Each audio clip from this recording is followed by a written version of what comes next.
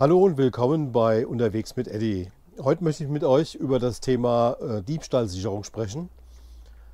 Wie ich äh, unseren Wohnwagen hier gegen Diebstahl sichere und was es damit auf sich hat, das seht ihr dann in diesem Video.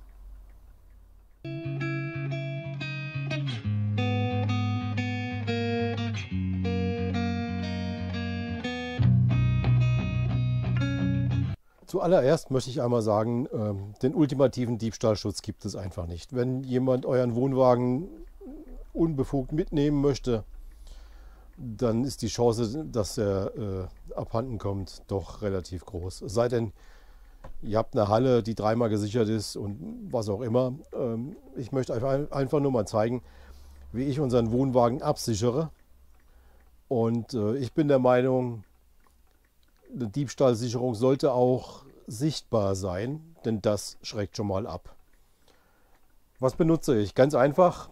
Erstmal, das muss eigentlich, ist ein Muss, ähm, die Alco Diebstahlsicherung. Hier nur die mittlere Ausfertigung. Die gibt es nochmal etwas größer und schwerer. Die soll noch besser sein. Mir reicht diese hier für die Zugdeichsel mit zusammen in Verbindung mit dem Alco Safety Ball. Dann habe ich eine Radkralle. Das hier ist die Nemesis Ultra Full Stop. Die ist äh, für die Räder geeignet. Für alle Alufelgen, bei Stahlfelgen äh, glaube ich eher weniger. Das hier ist das Original. Wer bei Fendt schon mal nachgeguckt hat, Fendt verkauft das gleiche. Da gibt es dann das schöne Fendt-Logo. Dafür bezahlt ihr dann, ich glaube, 20 Euro mehr. Ähm, Preislich liegt die hier ungefähr bei 165 Euro. Und äh, wie wir die alle dran machen, das zeige ich euch dann jetzt gleich noch im Anschluss. Und was ich mir jetzt noch geleistet habe, ist das hier, um das mal aufzulösen. Das ist eine Diebstahlsicherung, die auf die Stützen geschraubt wird, sodass man nicht einfach hochkurbeln kann. In meinen Augen ist viel, hilft viel. Ob das dann letztendlich dazu führt, dass der Wohnwagen hier bleibt oder dann doch unberechtigt mitgenommen wird, das muss man einfach sehen. Das hier bauen wir heute noch an. Und äh, dann zeige ich euch in diesem Video auch noch für englische Wohnwagen. Englische Wohnwagen haben eine Besonderheit.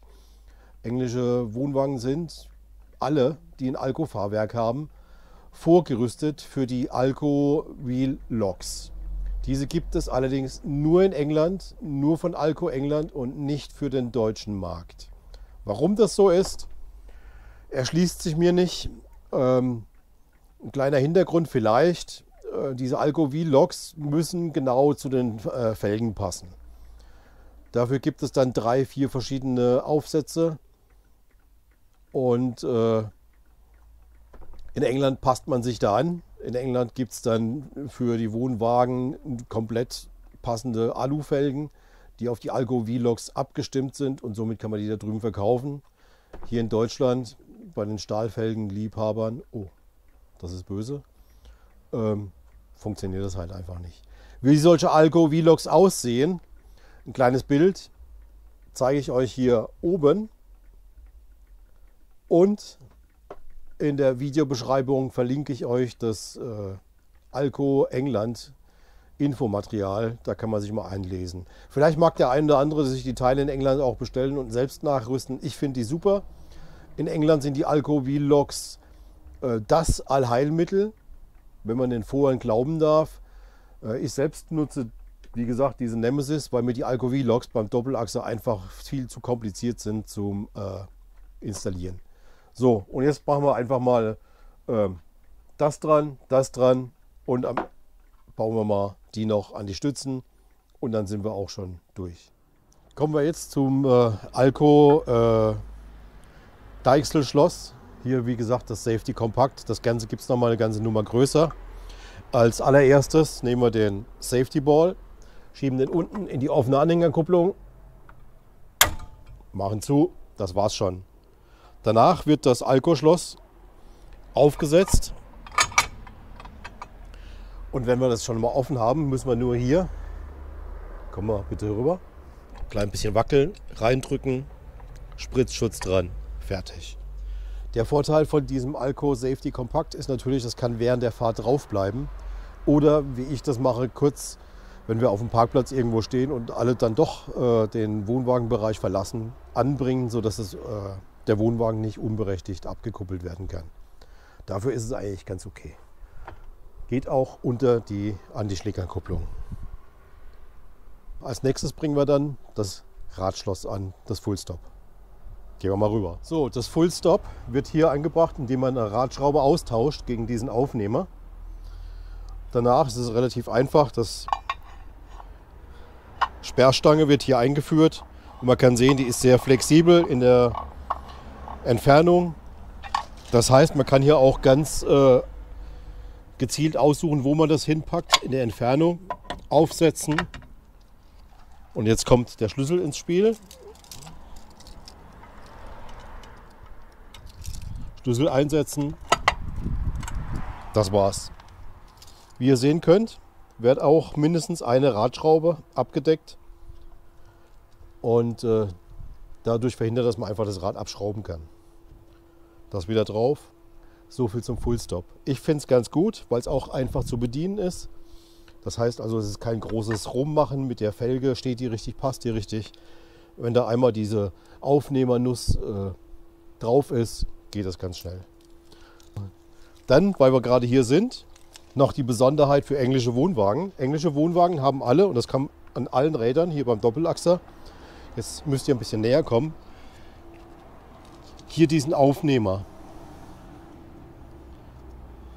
So, schrauben wir mal auf.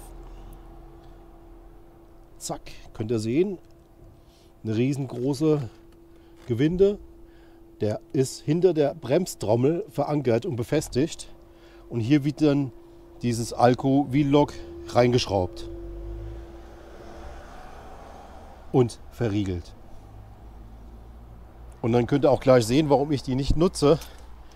Beim Doppelachser müssen dann die Felgen, wenn ich beide Schlosser benutzen würde, genau so stehen, dass dieser Aufnehmer in der Mitte von diesem Fenster wäre. Ja, und das äh, ist sehr aufwendig. Video dazu gibt es garantiert im, äh, auf YouTube. Den Link dazu schicke ich euch, äh, schreibe ich euch auch in die äh, Beschreibung rein. Und äh, da könnt ihr euch das mal angucken.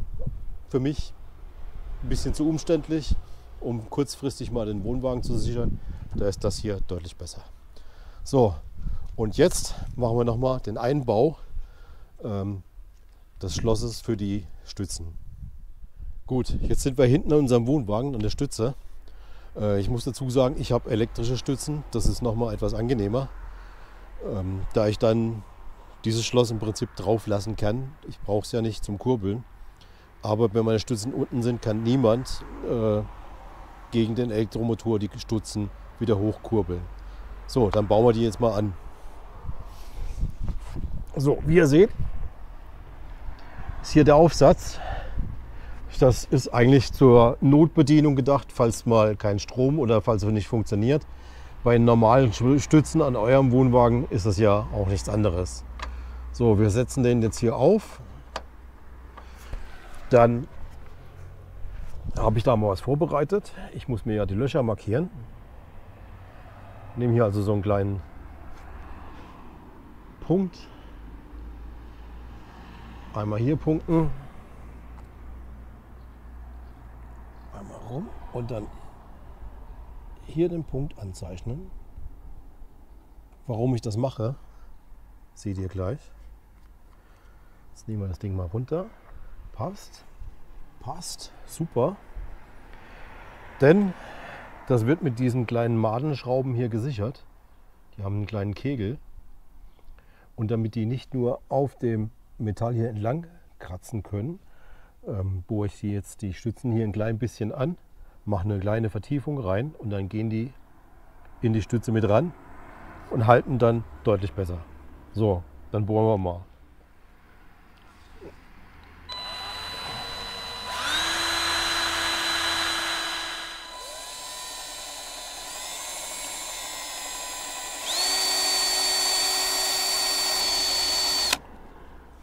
Wie ihr sehen könnt, haben wir jetzt so eine kleine Vertiefung drin für die Madenschrauben.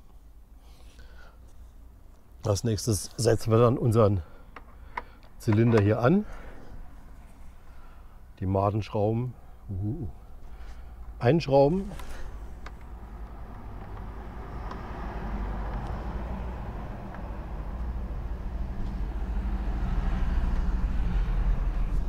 Und durch die Vertiefung muss ich die eben nicht anziehen, bis äh, mir quasi hier was abbricht. Sondern die sitzen dann einigermaßen verankert und nicht nur oberflächlich, sondern mit einer kleinen Vertiefung auf der Stütze. Anschrauben, nachziehen, nachziehen.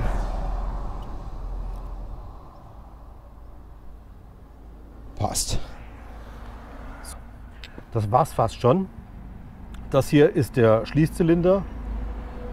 Der kommt dann hier drauf, wird abgeschlossen und das war's. Jetzt die Frage, wie kurbel ich jetzt die Stützen hoch? Gut, meine elektrisch, ja, aber falls das mechanische wären, aufschließen. Dann habt ihr den netten Adapter hier und schon könnt ihr ganz normal wie gewohnt mit der Kurbel, mit dem Akkuschrauber, wie auch immer, eure Stützen wieder hoch und runter kurbeln. Ich finde das hier einen sehr einfachen Diebstahlschutz, denn sind wir mal ehrlich, die Stützen kurbeln wir, wenn wir ihn abstellen, so gut wie immer runter. Ähm, ich mache dann einfach das Schloss hier drauf und dann haben sie schon wieder etwas schwerer. Mit Absicht hier hinten, damit man das Schloss auch direkt sieht, denn wie ich am Anfang vom Video schon gesagt habe, damit die, damit die äh, unerlaubte Entfernung eures Wohnwagens äh, dadurch abgeschreckt wird, dass man sieht, wie hier an meinem Beispiel, ich habe jetzt drei Schlösser verbaut. Dass das kein definitiver Diebstahlschutz ist, ist mir auch klar, aber es wirkt schon mal sehr abschreckend, denn die müssen vorne das Schloss machen, in der Mitte ein Schloss und hier ein Schloss. Alles Zeit, die man eigentlich dann nicht hat. Und wie ihr gesehen habt, so schnell wie das hier angebaut ist, ja, und das kostet hier nicht die Welt. Link dazu äh, in der Videobeschreibung. Sichert das euren Wohnwagen. Und man muss immer mal sehen in der Relation. Diese Schlösser hier kosten mich jetzt zusammen knapp 300 Euro.